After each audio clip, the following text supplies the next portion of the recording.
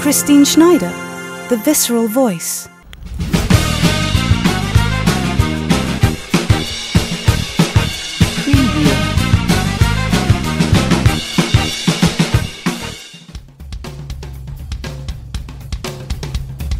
Welcome to the Visceral Voice Podcast. I'm your host, Christine Schneider.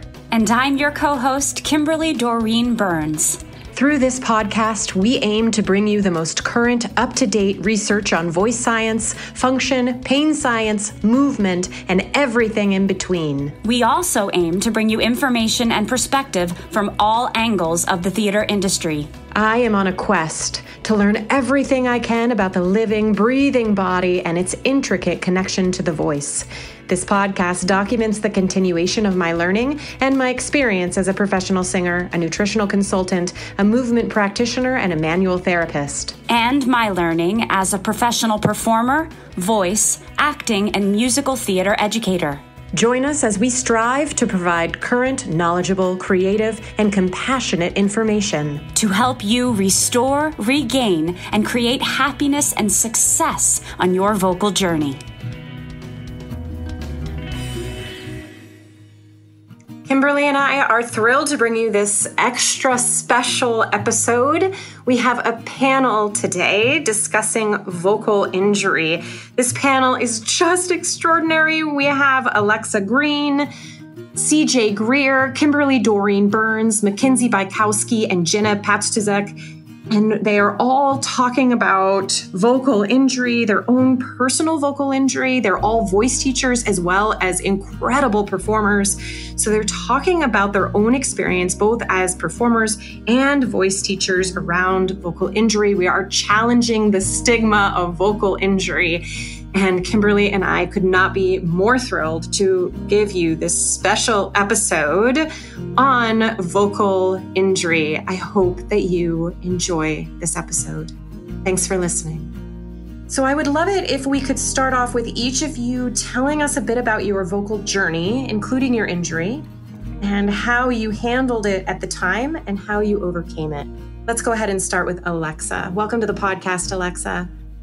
Hi, Christine. Thank you so Hi. much, Christine and Kimberly, for having me. I'm just so happy to be here. So, I uh, grew up around music. My parents uh, were both classically trained musicians.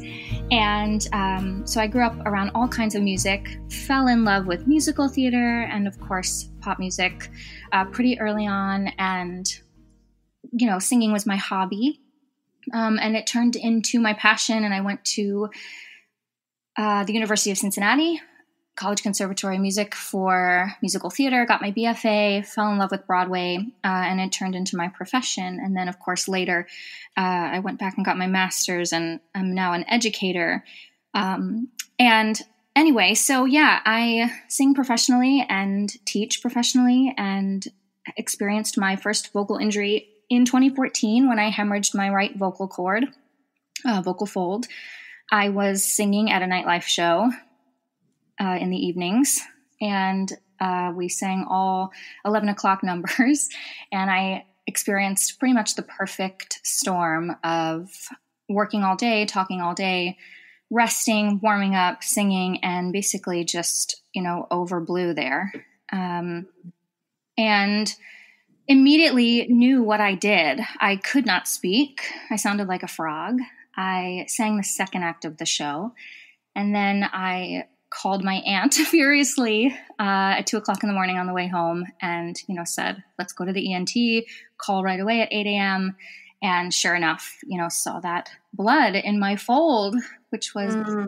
crazy. Uh, but have since recovered, obviously, and uh, I get emotional talking about it. But it uh, was such a life changing moment uh, for myself as a performer and an educator, and taught me so much about my voice as well as others. Um, so I'm so thankful to have had the best team and the best support. Um, but it was quite a life changing moment that I look back on now uh, with love, but uh, it took a while. CJ, CJ Greer, welcome to the podcast. Thanks for being here. Can you tell us about your journey? Thanks so much, Christine, for having me. I appreciate it. Um, I so I did not study voice in my undergraduate years. I was an instrumental major, Um, but I sang all the time because I loved it and I was getting cast places. So I just kind of kept singing. And the very first time, it was my very first profession. So I've had several vocal injuries, but the the first ones came when I was doing my first professional gig um, at Busch Gardens. Um, uh, it was a summer gig, and I was doing an outdoor show and I was singing alto. So there were tons of things that were going wrong about what I was doing, but because I didn't have uh, vocal training at the time, I didn't know any of those things. Um, and so I ended up with pre nodules for the first time. Well, it was nodules. It was, but they were not so hardened that anything couldn't be done about them. So, but I remember not being able to speak with any sort of clear tone. And there's a recording actually of us doing a cabaret um, where I'm singing the alto part on this quartet that we were singing, and I sound so raspy. and so I've actually used that um, sometimes to sort of talk to my students about vocal health these days. Um, and at the time, this was in, I'm going to date myself here, but that's okay, 1997. And uh, the at the time, the therapy, the healing process was don't talk for two weeks, uh, use a whiteboard, I actually had to cancel the last two weeks of my contract, I think, in order to do that. Um, so that was the first time. Uh, it came back around a few years later. This was like three or four years later, where I was, I was actually performing in Tokyo Disneyland at the time, and normally it was a five week, five day a week gig, and you had two days off, which was good because you're vocally you needed it. Um, but then I started they were changing the shows and I had to start rehearsing for the new show they were going to be putting into the space. And so I had no days off vocally for about two months. And they came back. And I was like, okay, now I have to figure out what's going on here. um, but at the time, uh, it was just part of the Japanese culture is very much like you don't mark, you don't give up, you always show up and do your work and it um, they didn't understand me saying i can't sing today because it's not healthy for me and they didn't understand that um, and so i was i found myself in a position where i was glad to be towards the end of my contract at the time but um, there wasn't much i could do i called out of a couple of shows which is also something a you don't do in japan and b you don't do at disney um, very much or at least with their the way that disney park was run. Um, and so that was very challenging. And I mean, I'll just to give you a couple other things. It wasn't until um, I was doing, I was on tour in Les Mis, and I had I popped my first varix, uh, which is a permanent varix on my right side. Um, and uh, I was doing Sister Act and uh, started having some vocal troubles because I wasn't balancing my musculature well. Mackenzie, welcome to the podcast. Can you let us know about your journey? Hi, Christine and Kim. Hi. Thank you guys so much for having me. Um, sure. Uh, my journey is similar to many. Uh, I was a young musical theater singer. I was actually performing as Tony in West Side Story my senior year of high school. And throughout singing in high school, I was always very much in like the competitive honor choirs and all that stuff. And I would notice that my voice would, over those three day weekends, would just kind of disappear. So for the final performance, I was lip syncing, um, but I never thought too much of it because it um, it would always come back. So three weeks before the performance for West Side Story, I went into the ENT for a deviated septum, and he looked down my throat with a dental mirror and very dramatically told me that I would never sing again. I should give up any pursuit as a professional singer um, and it's just easier to accept if I accept it now versus later. So um, my mother was unhappy to say the least. And so we got a second opinion uh-huh. at the NYU Voice Center. And uh, Dr. Amin said that I had some swelling and he wanted to put me through a speech therapy regimen um, before making any decisions. And we deduced that I actually had um, scar tissue on the anterior third of my right fold that was likely a product of complications with pneumonia or bronchitis. I had that a lot growing up. So um, I went and got my undergrad in music business at NYU, and then I continued right into my master's of vocal performance musical theater and vocal pedagogy. And um, I actually recently just had surgery to correct that scar tissue um, in early July. So I'm fresh off a surgery and yeah. Kimberly, not only Kimberly is not only on the panel, but also my co host here on the Visceral Voice podcast. Kimberly, thanks for being here on the panel as well. You are so welcome. I, I we are all so brave and courageous to come here today and openly talk about this. And I'm so thrilled not only to be the co-host, but to uh, to also tell my story. It's interesting, uh, and and CJ, just listening to your story, my first uh, memory of vocal trauma also happened at Tokyo Disneyland. Mm-hmm. And uh, that was back, I'm also going to date myself. That was back in 2009. Um, and I, I remember, uh, you know, feeling some some difficulties there, and I thought that it was maybe acid reflux or you know something along those lines. So I just did the traditional thing of like, oh, I'll drink more water and I'll rest and all of that. But um, anyway, that was my first memory of it, and I believe looking back now that I lived with it for about uh, nine years uh, having these vocal difficulties. And my first true diagnosis happened back in 2015 when I was diagnosed with bilateral pseudocysts on my vocal folds. And uh, over the course of about two years um, that I lived with these pseudocysts, I was playing some rather large roles, uh, a couple specific shows that I remember having a lot of difficulty doing. Um, I was playing Dot in in Sunday, and uh, I was doing uh, Eliza and My Fair Lady, which I've done several times, and uh, I finally just couldn't live like this anymore. I was very hoarse. I was not able to do my job, and uh, I hit rock bottom. Some would say, and I went uh, to the Sean Parker Institute to Dr. Sulica and uh, he confirmed the diagnosis of bilateral pseudocysts. And I finally broke down in July 2017 and had surgery, uh, probably the best day of my life and the scariest day of my life. And uh, then I went through therapy with Christine Estes and, uh, you know, rested and relearned my voice. And I mm. feel better than ever. And I'm singing better than ever. And I'm so glad that we're openly talking about this today because I feel better than ever, even right now, just talking to all of you. So that's my journey in a nutshell. Last but certainly not least, thank you for your patience. Jenna, welcome to the podcast. You were the voice, you were my host during my host episode, the very first episode on the podcast. We had the beautiful tones of Jenna. Jenna, thanks for being here. Thanks for having me back, Christine. It's been thrilling to watch the success of the podcast since we recorded that little baby episode a few a few months ago. yeah.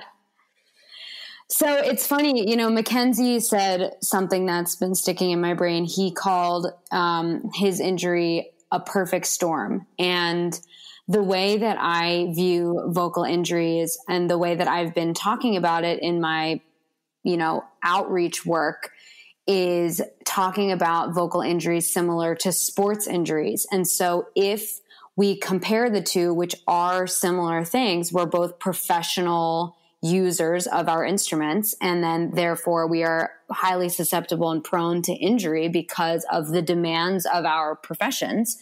Um, when you look at athletic injuries, it often is like a, a, Jenga board where it's just stacked on top of each other. So everyone has sort of brought up that their injury happened after having minor hiccups previously in their life. Last October to December, I was performing in a production of The Winter Wonderettes, which is a four female show. It's about two, two and a half hours of four part harmony where you're on stage the entire time. We were performing in a theater without microphones, and we were doing eight or nine shows a week. Um, so I was also teaching at a university at the same time, and then spending my one day off teaching all of my private clients. So by the end of the run, I was really, really tired. So once the show ended, at the beginning of January, I went away on vacation with my family and I got the flu. And I had never coughed so hard in my life. And I remember I had 103 degree fever and I was crying to my mom and to my husband. And I was like, I'm never going to sing again. I'm going to hurt myself. And little did I know that two months later, when I went back to the doctor, I had a vocal hemorrhage. I was operating on an already weakened basis and just continuing to push myself. So they discovered a hemorrhage. Later, my the thing on my left vocal fold was diagnosed as a polyp, and so um, ultimately, I decided to do surgery with Dr. Steven Zeitels up at Mass General. Um, we he removed the polyp on my left side. He also removed a recurring polyp on the right side, which was uh, caused by the polyp on the left, and then he also removed the hemorrhaging blood vessels. Just to sum up for our listeners, we're hearing such a, a, variety of vocal injuries. And so I think it would be really helpful for us to go through our list and through our rotation once again, and for everyone just to quickly say, just in two, three words, what they had for their vocal uh, injuries. I know a couple people had a different kinds. But um, Alexa, what did you have? I hemorrhaged my right vocal fold. CJ? Prenodules, hemorrhage, and vocal paresis. Mackenzie? Scar tissue removal, anterior webbing removal, and reactive polyps on the other fold removal from the scar tissue. And uh, and I had bilateral pseudocysts. And Jenna? hemorrhaging blood vessels and a, a, polyps on my right and left vocal fold. We are today challenging this stigma. We are all openly discussing this. We are bravely showing the world that everyone goes through this. So, what I would like to go through now in the same rotation is I want to ask everyone Did you hide your vocal injury? And if so, why did you do that? Alexa, we'll start with you. I absolutely did not hide it. Um, and you know, I feel very, what is a good word? I don't know. Um, I've been around vocal injury for a long time. I, I had a lot of friends experience it all throughout college um, and all in the professional world.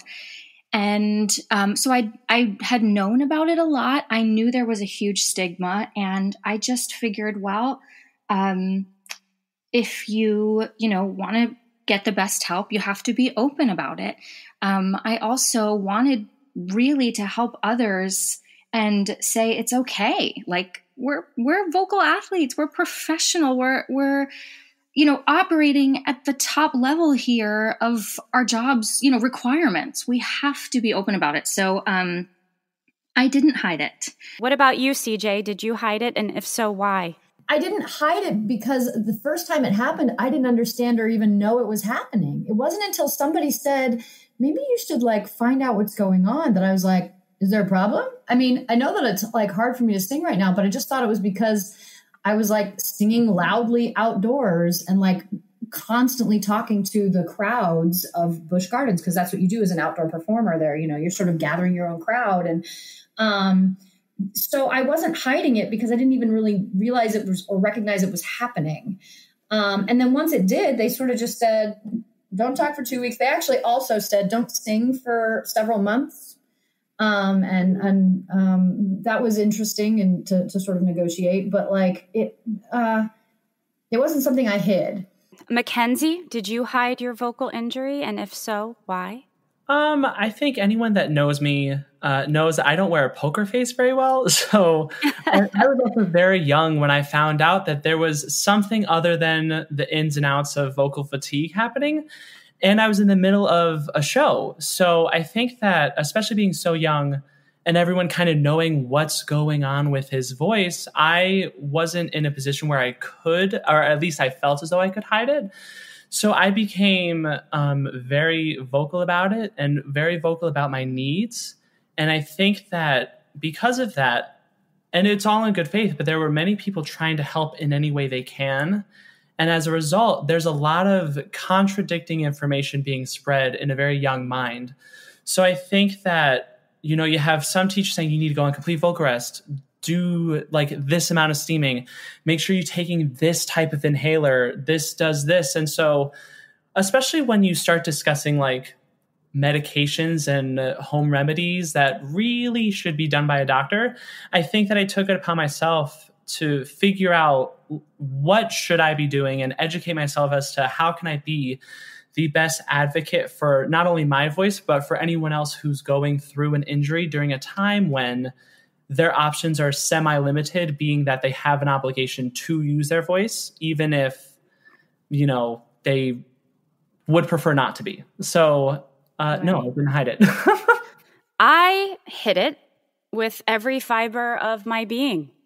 Um, it was a very large secret that I that I held near and dear to me um, until I confessed it publicly on this uh, on this podcast in my episode. And uh, I just want to point out a couple of things that we've already heard that some people have had these injuries at theme parks. I find that interesting. Um, and, uh, you know, just that's my little soapbox moment. but um, yeah, I, I hid it. And not only did I hide it, I had my friends, uh, very, very, very close friends, and my family hide it for me. And um, I was just so afraid that I would never get hired again, that I would, you know, get fired or lose my reputation of having these cords of steel you know that i would lose that that label as if it was something to be proud of. Um, and uh, yeah i didn't want my castmates to know that i was having trouble um, when i would go to the doctor during shows to get you know my steroids or whatever i would lie about where i was going. So um, i hid it very much just because i just didn't want to be less than what everyone thought i was. Uh, jenna how about you yeah, I'm right there with you, um, Kimberly. I I totally hit it. I felt so much shame mm-hmm. and embarrassment. This was such a hit to my ego. Like, how could I, somebody who got her master's in vocal performance, how could I? Somebody who'd been proudly training and singing since she was 11. How could I, a voice teacher, people pay me to learn to sing? How could I have an injury? Yes. And so I was, um, I actually, when the hemorrhage was discovered, I was two weeks away from starting my next show. And so once we, uh, once the hemorrhage cleared up and healed, and I was still dealing with the remnants of the polyp, knowing that I had to go and start rehearsals in two weeks. I was so nervous and such a basket case about anybody discovering that I was going through something and I was, you know, sounded different or weaker than usual because I was working with people who I had worked with previously. Um, and so I did everything in my power to not only hide my vocal injury, but also um, completely shut myself out of most social situations with the cast because I wanted to just do everything I could, like change my diet, sleep for eight to 10 hours. Like basically, I lived like a monk during this show so that I could avoid any kind of prob like hypothetical problem vocal situation. I know you all very well, and you all know me. So you know that I am very much about the whole body. And so I want to I want to ask you how do you feel your vocal injury affected your body, your self-esteem, you emotionally? How did it affect the whole? Alexa, I always say singing is a whole body experience, right? So we talk about the holistic approach a lot, and um, it's the voice is super connected to our identity. Um, it's how we communicate, mm. and you don't really think about it until you can't anymore. Um, and so uh, I was absolutely scared. Um, it took a toll on my self esteem for sure. However, I also felt, uh, in a weird juxtaposition, pretty empowered. I, I felt like a professional like, mm. well, I made it. I have a vocal injury, which is very skewered and weird to say. Uh, but when it happened, um, you know, I, I, usually trust my instincts as a singer. And when I when I was performing and I, I hemorrhaged, I knew I did it. Immediately. Um, I often mm. say it felt like God was in my throat because it was the best sound I'd ever heard. I was singing uh, that song Once Upon a Time from Brooklyn the musical, and at the end there's an A flat, and I sang that note and belted it, which is way too high to full voice belt. Um, and it was amazing. Sounded amazing. and then I tried to talk and I could not speak. So I knew I did it. I knew I hemorrhaged. It was instantaneous, you know, no voice. Um, and it definitely took a toll on me. However, um, I just have to like give a shout out because I had such a good team and um, they really helped me with my self esteem and said, you know, you are a singer, you've got this, you know how to handle this. Um, and I, I, I, did have the tools. How about you, CJ? Well, I mean, at first it was it, for the, you know, the first time this happened and it wasn't something that I had any information about. I didn't really understand what was going on. And I wasn't planning a career in singing at the time. I was going to be a band director for the rest of my life. And so I, it wasn't something that, it affected me emotionally at the time. I remember people looking at me and being like, "Oh my god, are you okay?" And I was like, "Yeah, yeah, I'm fine. But it's a, it's fine."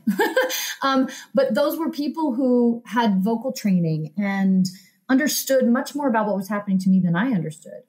Um, and they all were planning careers in singing, and, and I sort of wasn't at the time. I was just doing this thing for fun. Um, but then when they told me to, so the whole like whiteboard for two weeks that was hard. Um, and then they told me not to sing for a semester, and I had to drop out of my a cappella group, my uh, my collegiate a cappella group, and that was upsetting. And then I would notice myself start starting to sing with the radio, and I would just I'd just be in the car by myself, and then I had like I would start doing it without realizing it, and then I would stop myself and be like, "Oh, not allowed, not allowed to do this right now." I'm not really sure I understand why, but okay. Um, the other thing that was going on at the time was that um, so I was the drum major of my collegiate marching band of about 365 people, the Marching Illini. And when you're a drum major, those people who know and understand the drum major world, there's a lot of um, we'll, we'll call it uh, aggressive calling that yes. on the field. so um, I what I also didn't make the association with, and nobody was really guiding me through that was um, that one was just as bad as the other in some ways.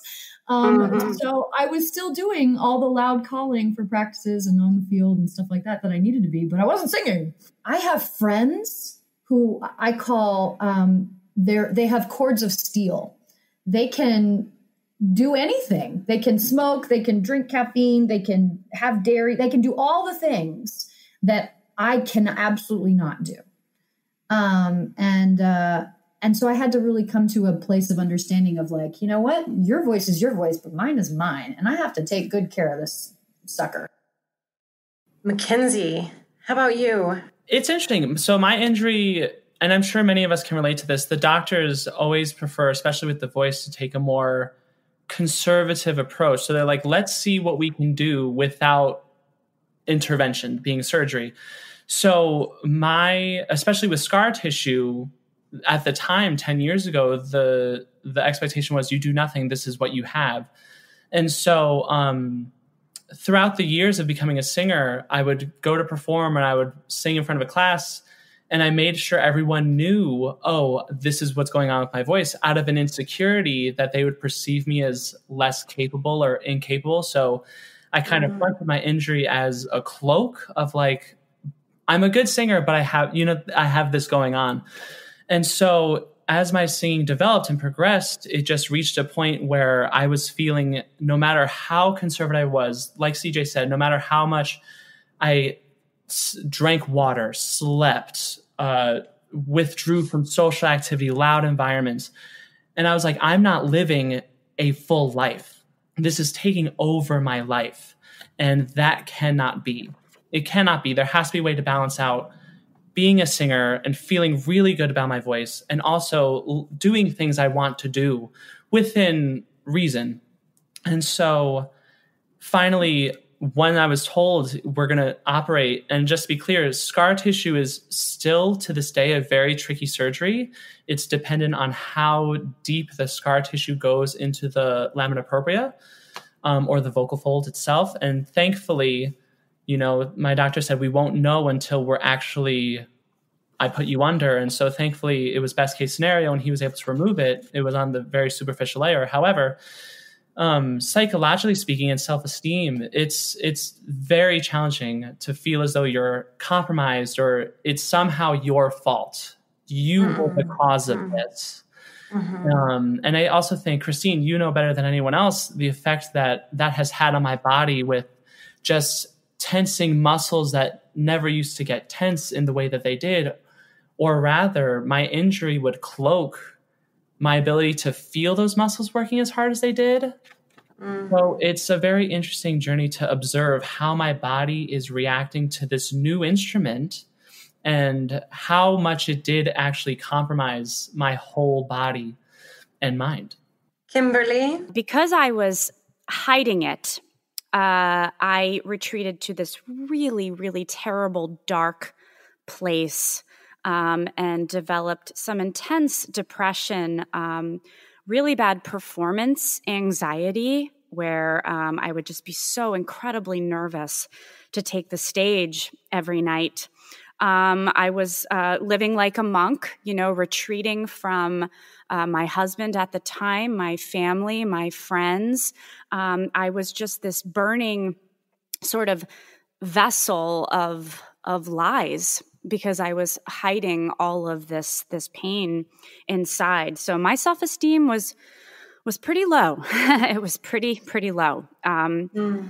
So uh, and then as far as my my body, uh, I had a, a, lot of stiffness in my body because I was harboring all of that information. And uh, the main thing that was uh, affected in my body was my my throat uh, and my breath. I really felt that I could not breathe um, and that I was choking. And that mm-hmm. sort of has to do with the emotional aspect as well, because I was harboring all this information. I couldn't speak my truth and that really showed up in in my my throat uh, and in my in my breath. How about you jenna? Well when i was first diagnosed with the hemorrhage and then my ent Gwen Korovin suggested that i come back in a month after letting it heal starting rehearsals and let's see what the situation is with the thing on the left side of your vocal folds so I, in the meantime, I was desperate for anything to save my vocal ship. I was hoping that a change in my diet would reduce the extra inflammation and I'd be able to go back at the end of the month and she'd be like, wow, that thing has disappeared. You don't have to have surgery. So I committed to doing everything in my power. I gave up alcohol. I went 64 days without a glass of wine or a swig of beer. I gave up sugar. I went 32 days without a cookie, a starburst, or a drop of honey in my tea. I committed to this strict, like Kimberly just said, a monk like regimen of self care involving yoga, Pilates, gluten free, dairy free, low FODMAP diet, eight hours of sleep a night, steaming every single day my steaming regimen was using my neti pot or sorry using my nebulizer then doing my neti pot then gargling with salt water. So it just added all of this extra time to my my self-care schedule every day. I mean you know me christine and i love to swing a kettlebell and i love to lift heavy. And all of a sudden i had a vocal injury and i was like maybe lifting weights is the problem. Maybe i should just stretch mm-hmm. and mm-hmm. see what that does. And, you know, all of that kind of worked when I went back to see her and did a scope. She was like, the, the inflammation has significantly decreased, but it is still there. And so I did end up going through with the surgery. And, and like everybody has said, that was not a sustainable lifestyle for me to be able to to give up the things that make uh, living fun. You know, I, I, there's like some kind of um, Instagram image or like meme or something that's like, yeah, those extra five pounds are like cupcakes and happiness. And so like i'm like yeah i think i'd rather have those. Like it's worth it to me. So feels similar vocally. I was like i mean i love that post show. Let's just go have a beer and like gossip with with the cast. And so i was i was really missing that. Once i went through with the surgery what was really fun is with alexa's voice teacher my voice teacher Joan Lader who is like the shining beacon of my life she really helped me get through this. And and it was really fun actually to work with her afterward because she was like i'm so excited to see what happens to your voice after surgery because we'll be able to really figure out like is it was it because there was a polyp in your way that you weren't being able to produce the the soprano sounds that you wanted to do or is it something else? And so quickly after I started speaking and singing again, she was like, Nope, it's definitely your posture. And I was like, Oh man, I thought that it was just because I had something in my way and I could just blame my anatomy. But actually, it is still something that I need to work on and still need to um, be cognizant of when I'm singing. And so I think that it, it definitely has positively influenced my or positively impacted my relationship with my body because now I really do understand having gone through this. Oh, that old saying, your body is your instrument. Yeah, that's true. Yeah. So we really need to take care of our instruments. And it's not just about thinking about what's happening in our throat while we're singing, it's what's happening with your feet, what's happening with your head, what's happening with your your spine and your rib cage. And so it actually has become a more expansive opportunity when I'm singing. Instead of worrying what I sound like, I'm now having more fun thinking about what other parts of my body are doing. And then how if i change them slightly how does that affect the sound that comes out of my mouth? Let's get back to the, the title of the episode right? The title of the episode is challenging the stigma. We need to challenge the stigma and make this you know this whole thing demystified okay? So let's go through the rotation again and just in two or three sentences. Let's all say why it's so important to talk about this and why is challenging this stigma so important? Alexa, we'll start with you. It's uh, super important, I feel, and I um, I think Mackenzie said it. Uh, to be a vocal advocate, you know, when you go through something, um, now we stand up for this. And something I'm really passionate about is arts accessibility and education. And, you know, I feel like a theme here is that you know, a lot of us just had no idea how to take care of ourselves, how to know how to operate, um, you know, as a singer. Um, and so there is a, a, a, line, a path where the artistry meets the science, right? Um, and you can sort of combine the two.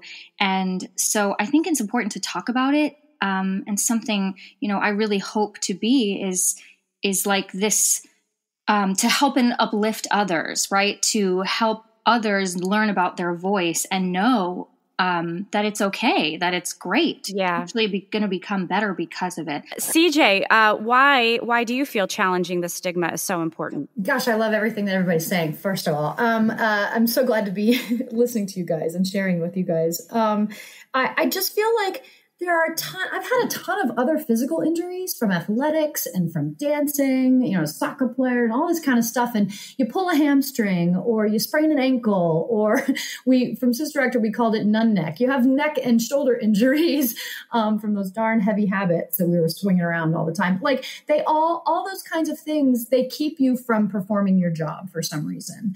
Um, and for for injury reasons. And for some reason the response to those like external injuries leans much more towards like understanding and compassion from everybody.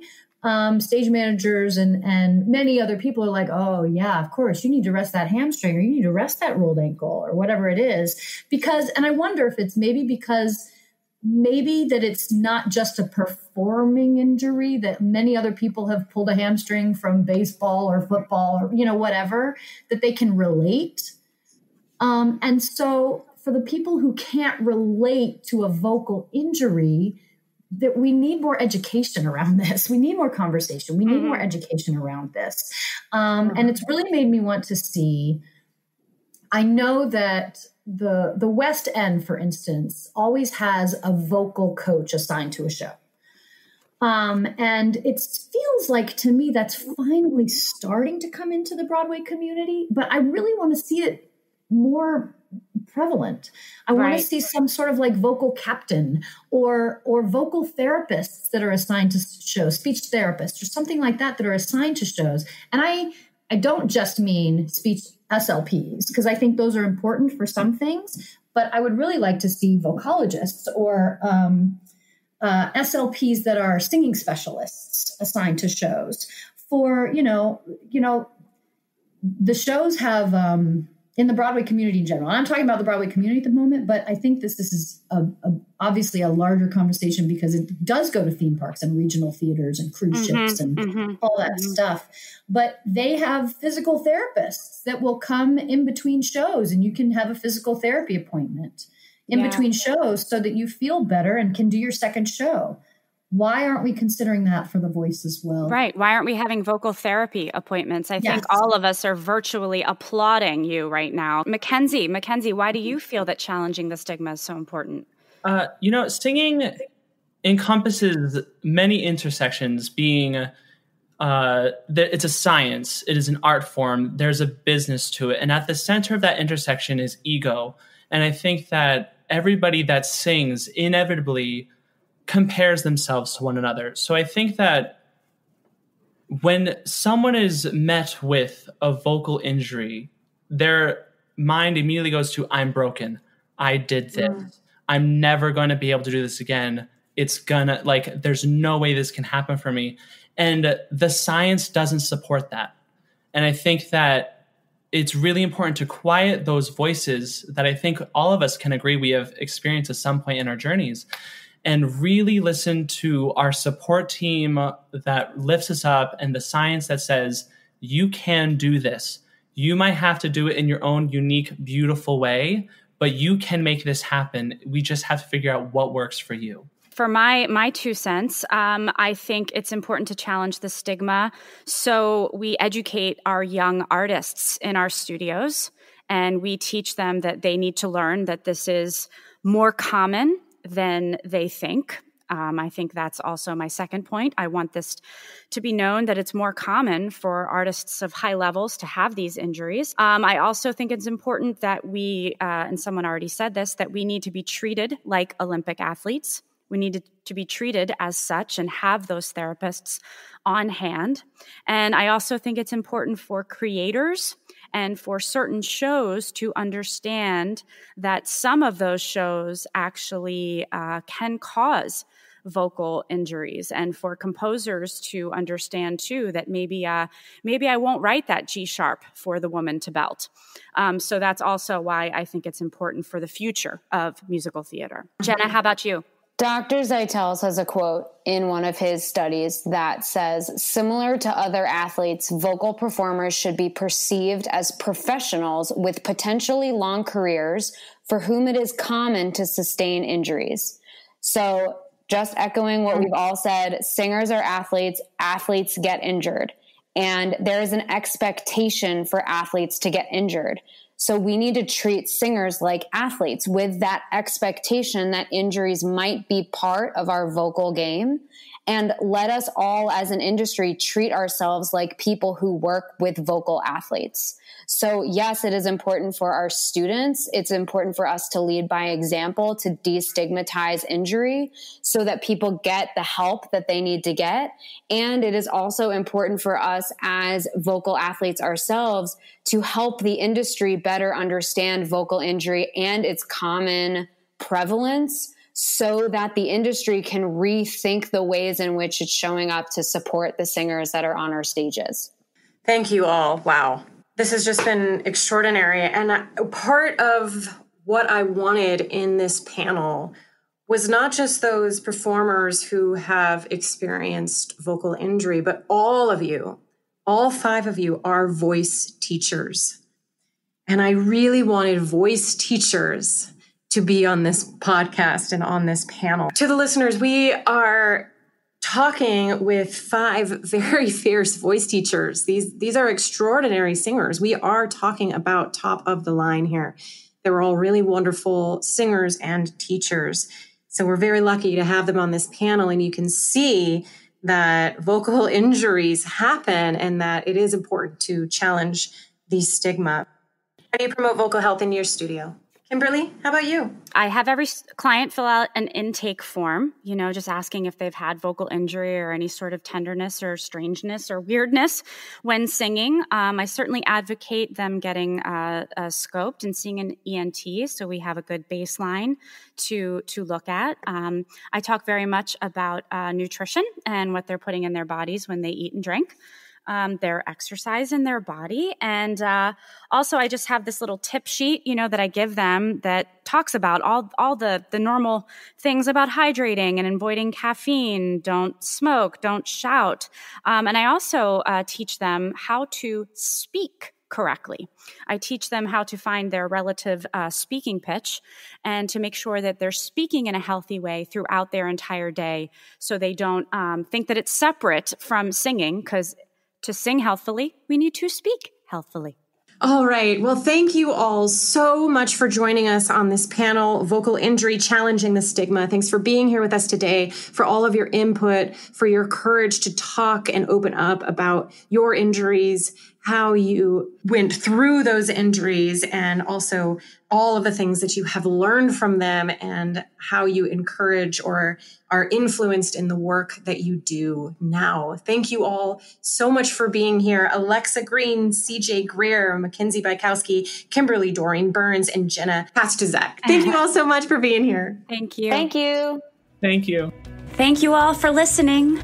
If you enjoy this podcast, please tell your colleagues, students, and friends to subscribe, rate, and write us a review. You can find us on Instagram or Facebook. And feel free to check out my website at www.thevisceralvoice.com for information on programs and upcoming events. I hope you join us next time for another wonderful conversation on The, the Visceral, Visceral Voice. Voice.